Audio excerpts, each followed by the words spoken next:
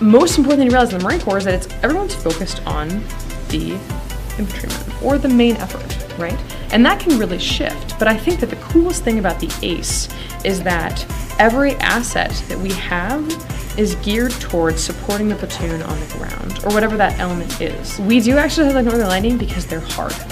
The logistics of getting all the way out here and moving all the way back are hard.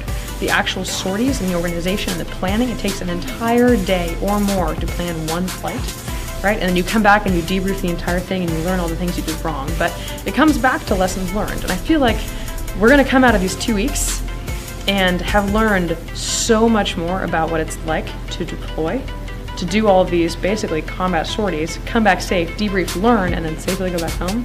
Northern Lightning is a practice deployment with fantastically professional adversaries provided by the U.S. Air Force.